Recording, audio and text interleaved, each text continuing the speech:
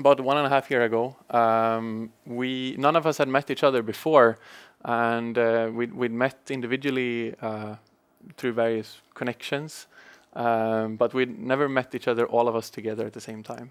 And we all decided, let's meet here in Shenzhen, uh, just north of Hong Kong, uh, in China, which has become the sort of capital of hardware development uh, in the world. It's think of it as the equivalent of Silicon Valley. Uh, what Silicon Valley is for software, Shenzhen is for hardware.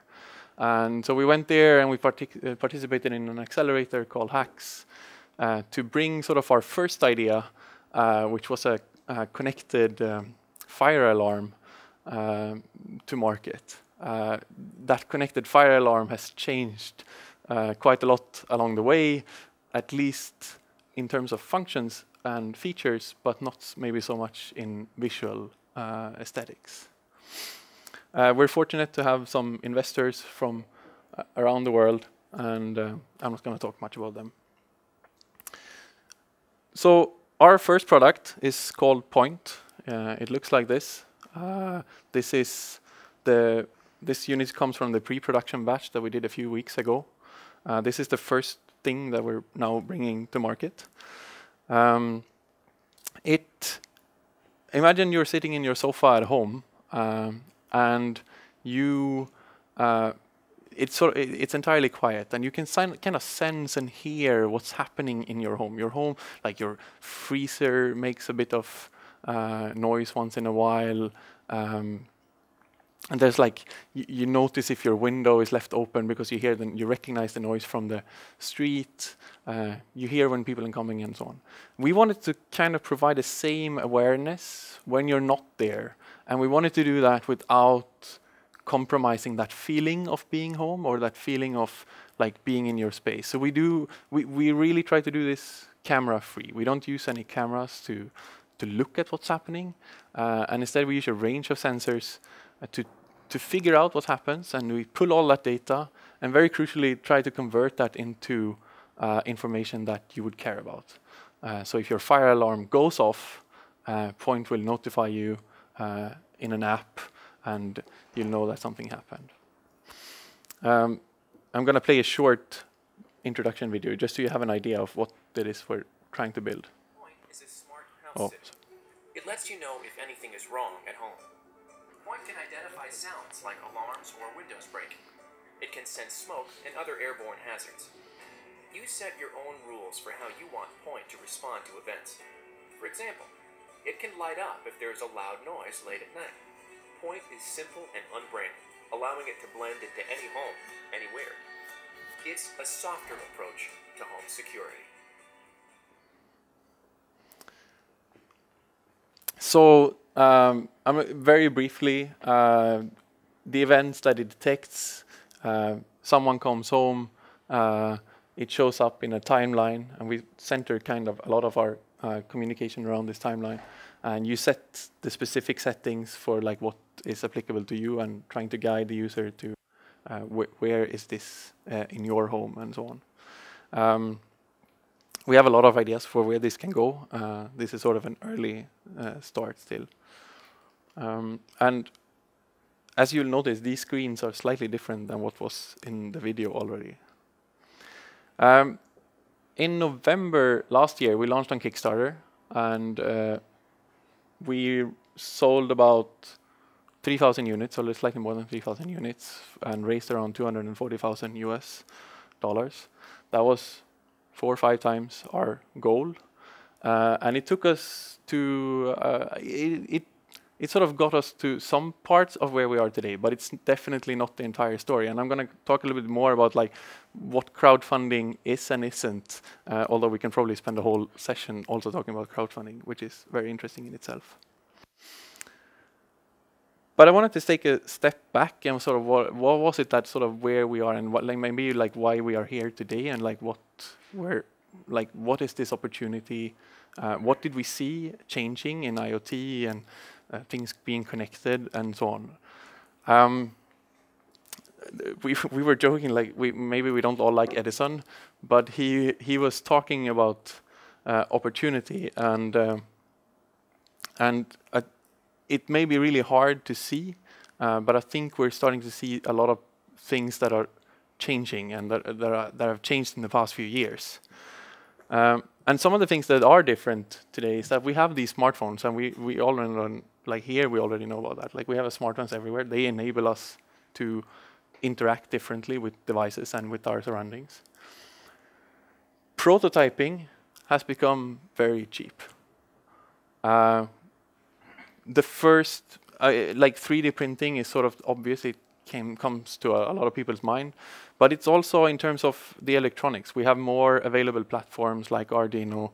Uh, there's an initiative at Mobile Heights, uh, which has, which I forget the name of. Uh, there's at least one company here in in Malmö using it, Modcam.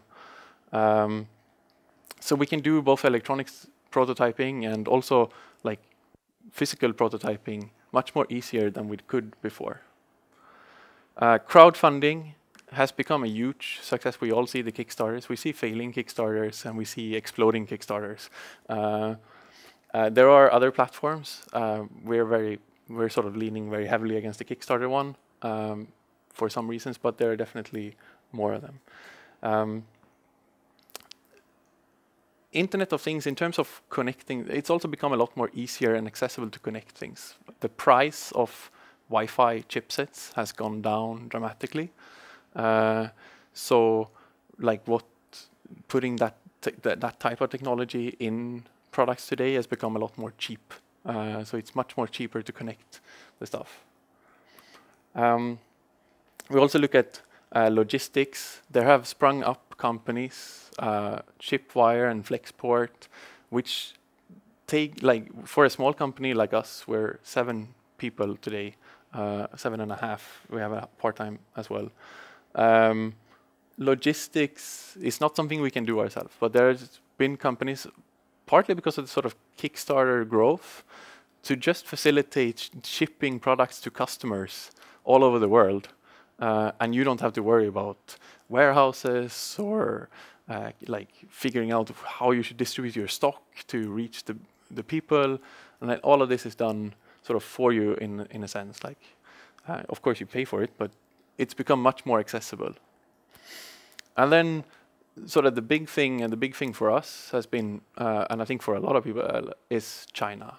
And we've seen a dramatic change over the last few years where uh, the manufacturers in China are much more willing to talk to small companies.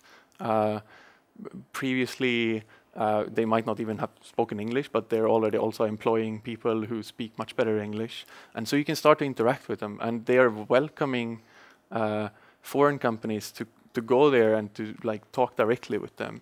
Uh, whereas maybe a few years ago, either you had to be very big uh, or you'd give it to um, I, I, forget the term, but like a, an agency kind of, or an, a, like a complete manufacturer, like, hey, I want this produced, and they would tell you the price this is going to be. But you had no idea of what actually the cost of the production for that unit would be. And so all of these things have also changed, like in the terms of they being much more welcoming. Uh, part of that ha may have to do with uh, sort of the piracy hardware that we've seen in China, that they've kind of, kind of built this ecosystem of doing things a lot more easily, and it's becoming much more available uh, to everyone. Not everything has changed. There's a lot of things which are still the same. Uh, we still need people. You still need people to build things and to do stuff and to uh, to talk to the manufacturers. And you need to understand all of these things, and you need to have people who understand it. Um, I come from a software background, so for me, hardware was like very hard, and it seemed very foreign. Uh, it's definitely not the equivalent of software bits. Uh, when I sit at my screen and Frederick is running tests to see if our uh, point is protected against, uh, like surge protected from ESD or electrostatic discharges, uh, when my screen flickers, that's a very different experience from what I've had before uh, where mostly it's test cases failing. And, and so here, th this is not going to go away. Uh, distribution is also hard, so later in the process, and I think Carl has very like interesting experiences to share maybe on this part, but you still have to get your product out there, and you have to get people to see it, uh, and that may be like selling through uh, various channels or like hooking up with a big uh, company that can put it in stores. Uh, but retail has its own capital requirements, which is very interesting and challenging. So, so this is still uh, sort of hard, and it's still a lot of like footwork. Um, supply chain, you need to get your components. This has been sort of one of our, and it's one of our current uh, sort of biggest uh, hassles. Uh, getting all the components delivered to your factory on time turns out to still be very hard. Uh, and this has partly to do with your size. So as a very small company, it can be hard to get everything. You don't have a much of leverage. Uh, whereas if you're um, Ericsson or Apple or someone else, they have a much more punch. Uh, so when you come and you say you want your products, they're actually going to be there. Uh, for us, it's not necessarily the same. Um, and this then ties into manufacturing, where you still have to work uh, a lot with the developers. It's a very manual process, despite our advances in robotics and whatever. A lot of it is people still putting stuff on the uh, circuit boards and, and making sure things fit together. They're put in boxes. Uh, you have to teach them how to do, how to assemble your product, and you have to be there. So we spend a lot of time there. Uh, that's why we've been there since. We, we actually never really left since we went to China last year, but we've been changing who's there, so we go back and forth quite a lot. So Edison had this quote, uh, which is why he still gets to be in the presentation, that opportunity is missed by most people because it's dressed in overalls and looks like work. And it is a lot of work. So even though it's become a lot easier, uh, it still uh, takes some. It still takes some work to get from a prototype to a product. I'm gonna go briefly into like I'm gonna go into sort of our journey, and we'll see how far we get. Uh, if something feels boring, like please tell me, or if I should speed up on some things, uh, or if you want to know more, like stop, like hey, how does this work? Um, but there are essentially three phases. You explore, uh, figuring out what is the problem, what are you trying to solve, and this is very similar, like whether you do hardware or not, or whether hardware is involved in the process or not. Uh, then you prototype, this is also very similar, but we use different tools. We 3D print, we, we build stuff, and we, we test uh, we test different platforms to see what works.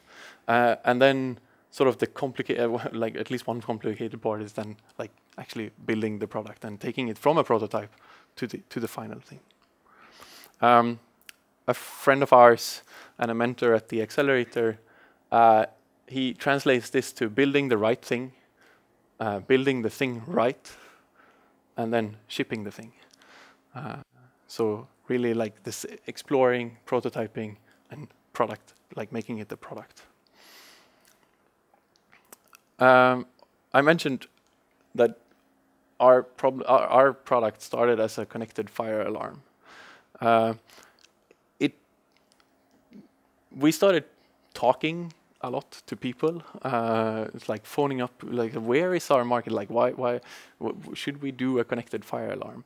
And once we started talking, uh, we also started realizing that the connected fire alarm was only like part of the like kind of a problem. But most people had fire alarms and they were not really willing to pay for a connected fire alarm in, in like only that. Um, we eventually ended up talking to a lot of Airbnb hosts uh, and that was part of sort of um, like from what we learned when talking to previous people. And we figured out so what we, we started learning that the airbnb hosts have some worries that like when they rent out their space uh, they want to know that the guests are sort of they stay within the sound limits so they don't have a huge party at three o'clock in the night uh, but also that the home is sort of generally uh, like okay. So that they know everything is fine uh, when they when they are not there or when when their guests are there. And that is how we started narrowing down and like taking that feedback in and sort of building out the microphone. Like we threw out the, the, the fire alarm, and that was partly a um, uh, a certification process because that turns out building fire alarms is very expensive and you have to certify and it's like two hundred thousand dollars or something just in certification. Um, and we added the microphone to, to sort of listen to uh, to the existing fire alarms instead. And then we found out that, hey, we can use that for so many other, other things. So we could also detect other types of events using this and also by like sampling and like sort of putting that together with other types of sensor data. Um, and you iterate and you iterate and it kind of looks like this and you go off on tangents and you and I think we all felt like this a bit like when we're when we're starting out we don't really know where we're going. And then we we hear something we come back to it. Uh, for me the hard part I think is letting go of things that you should not do. Uh, and the things that you've you started doing and you feel like this is nice but there's no one willing to pay for it or uh, or it's just not worth your time at the moment or something. Like that to me is very hard and I think in, in our team I'm still sort of the no sayer and I'm very conservative in terms of like no no we should stick to this and then we can fight it out uh, and we discuss and that part of is also part of sort of the iteration process. Um, so you have this idea and you have the prototype. I, th this is sort of a waterfall thing. I'm not entirely sure. We, I think this is sort of also a bit more like the previous slide where you iterate kind of back and forth a lot. And you, the idea and the prototyping goes together. You like start building something and you come back to it. Um, so this is the very first uh, prototype that worked right-ish. Uh, and it, you would see that there's some similarities in, in how it looks still. It's still round and it was about this slightly larger than this.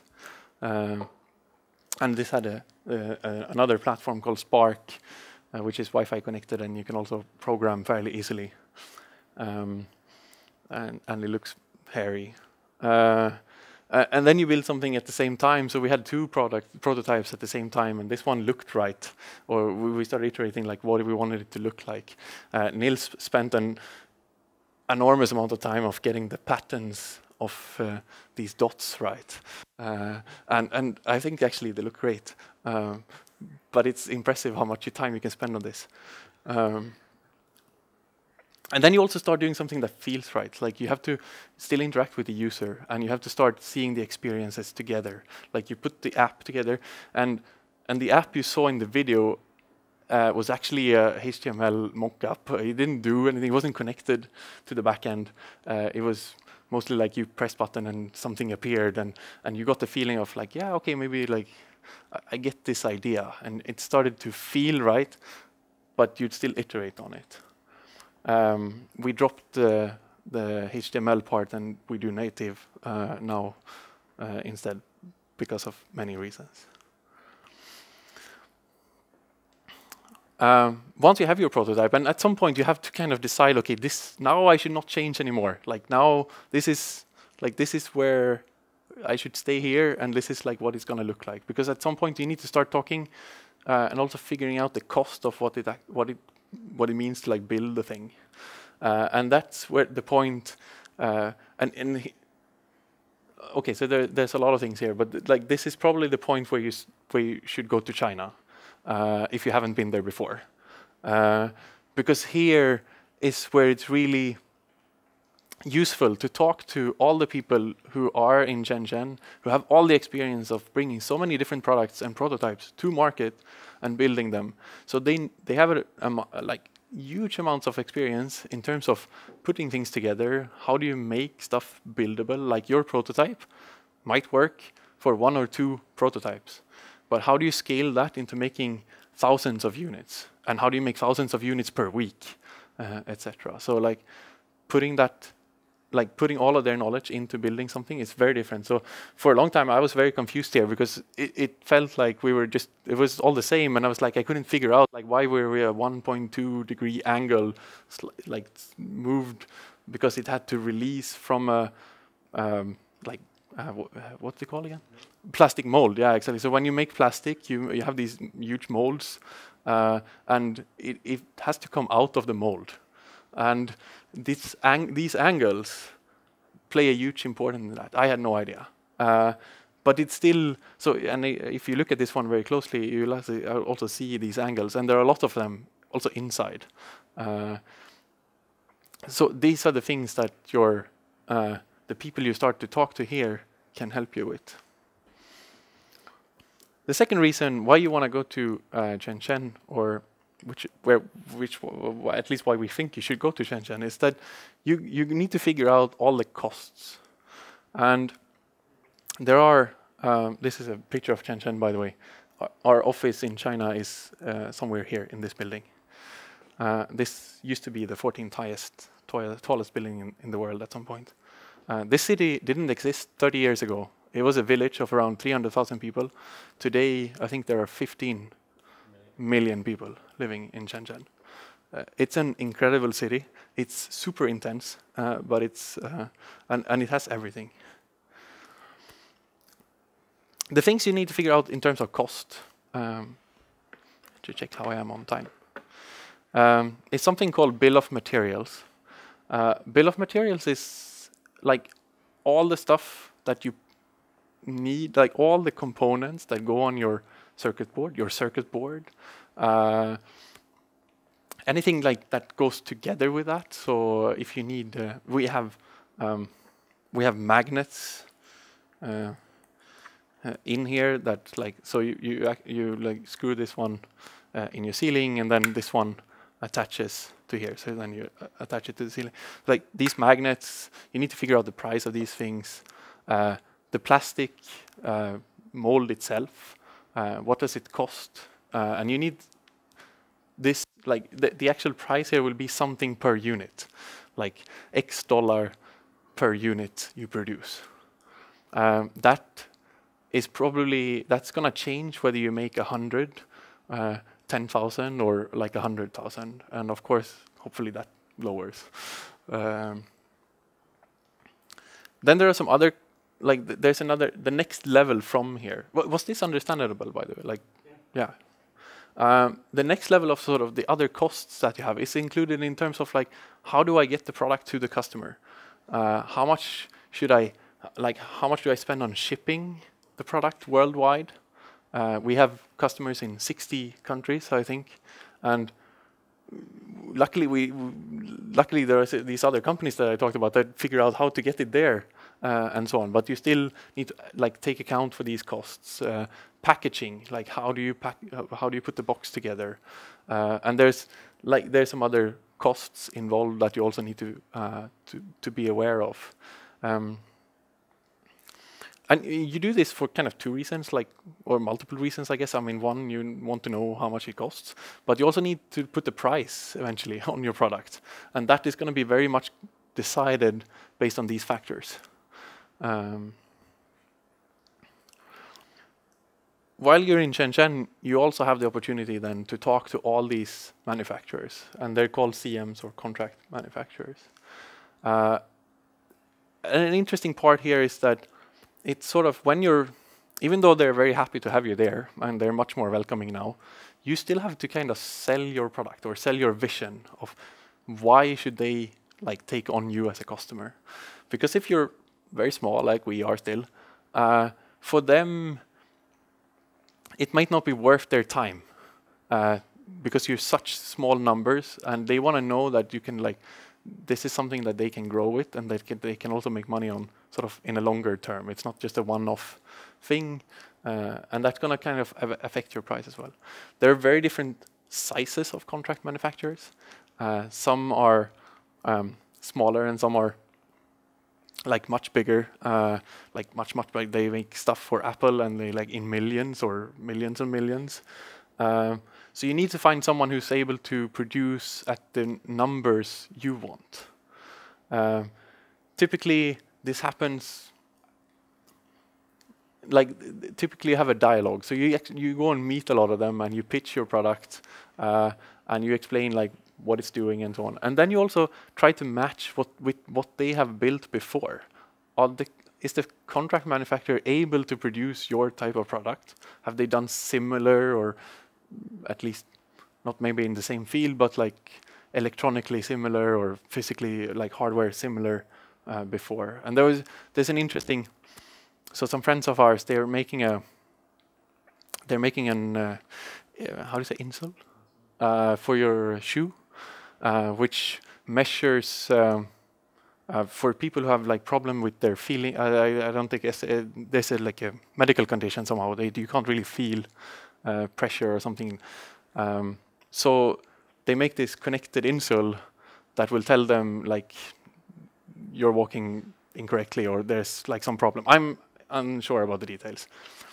The interesting part is, well, um, one of the interesting part is that it's hard to find like if you want to make insoles, like there are some manufacturers who are really good at making insoles. There's some there are some manufacturers who are really good at making electronics. There are not that many who are good at doing the both. So you need to find someone who's comfortable in doing both the electronics and an insole and like putting these two together. Uh, so you also need to find the right, it's very important, I would say, to find the right manufacturer for like your type of product. Uh, we work with the factory now and they've done similar things before. They are able to scale up uh, uh to like, I don't know, I think for some other customers they do maybe 10 10,000 units a month uh, or something like this, which is room for us to grow. Uh, it's not like an incredible amount. Uh, so if you grow more than that, it's probably going to be challenging. Uh, but then at that point, you can definitely afford to move to another one as well. So. Did you make use of a kind of a local agent to get you going, or you just went and knocked doors? Um, a little bit of both, I guess. Uh, so, so um, through the accelerator uh, that we went through, that opened a lot of doors. Um, we met companies who have not been through the, uh, the, the accelerator is well known in the area now, so they have a lot of connections. Uh, but there, we have met several companies who've also like just lined them up beforehand and said like, okay, uh, we, we have one month, we're going to visit 20 different manufacturers. Uh, you should probably not buy the return ticket uh, because lining up the meetings might not be so easy and so on. So like like going there, expecting to spend some time there, and living there is like super cheap still.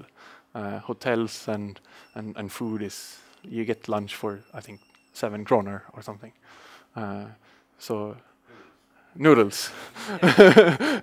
so and you, of course there's the other end of the spectrum as well, but.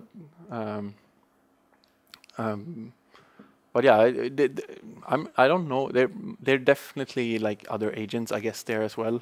Uh, but once again, you ended up you kind of end up in this like middleman position, and you're not really sure who's introducing who. Uh, so it's definitely worthwhile also visiting different ones, even if you don't end up going with them. Uh, and then we talked about uh, third-party logistics, um, like it's become uh, for for shipping, etc. Um, crowdfunding was the yeah. Good question. Design for manufacture. Um, there are a lot of terms. Uh, uh, crowdfunding was right for us. Must not. It is not necessarily right for everyone. Um, it's. I think a lot of people confuse it with validating your product and validating your market. Crowdfunding is really about validating if a lot of people experience a, a, problem you're describing.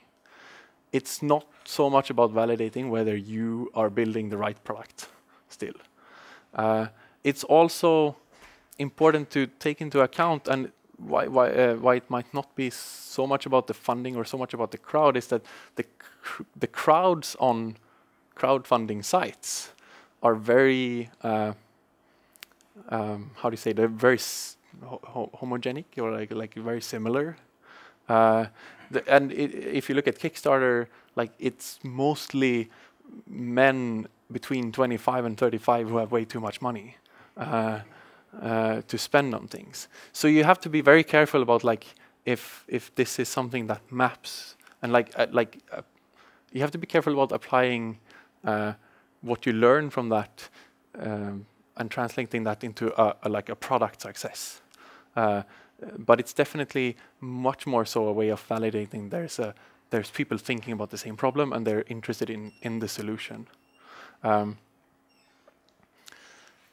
so and there are some other like hidden thought things about crowdfunding. And if you look at the campaign, and so let's say you raise approximately hundred thousand dollars, um, and and out of those, at least 10k is gonna go into bounced uh, as a credit cards not being uh, having sufficient funds, fees for the crowdfunding site, uh, or also people complaining, "Hey, I want my money back." And we've been like, if someone comes and say, "Hey, I want my money back," we give them their money back because they're probably it saves us more time not to fight them, uh, and you give them their money back. Um, um, so Nils put this number together, and I'm uh, unsure why, why where he got this like 30k in components uh, from. But the fact is, like, your tooling and your components is going to account for a vast amount of what you need, like the funds you erase. Um, at the end of the day, uh, what you have left of crowdfunding or like uh, of a hundred thousand k uh, is more something like 40 and that i think this is a i think this is a very like optimistic uh, estimate or like these are very conservative? Because in your early stages and we notice this now is that you're going to have so many unforeseen things that it's going to cost you money. It, like in the end it translates into money or time. Uh, and one sometimes you can solve it by spending more money because you reduce time. Um, and like I can give a concrete example uh, now. So we we use in in point we use uh, an, an LED in here to uh, measure particles, and we look at what's in the air. Uh, it turns out to be kind of hard uh, to get hold of, uh, and it's available if you buy it off stores like DigiKey, who are, I guess, more like available for, you can buy small quantities, like 25 of them. Uh, but we needed something like 8,000 uh, of them. And like we emptied their stock and a lot of other people's stock, and we spent more money on getting these fast rather than having to wait for a like a supplier to produce them. And your lead times on some components is gonna be like three months or two months. Uh, and that's also depending on like how much you want to pay for stuff. So the more you pay, of course, you, you might be able to get it faster, but some things are not going to happen faster. Uh, sometimes you can spend more money to make it go faster. Uh, sometimes not. There's also sort of a lot of hidden and interesting uh, trade-offs.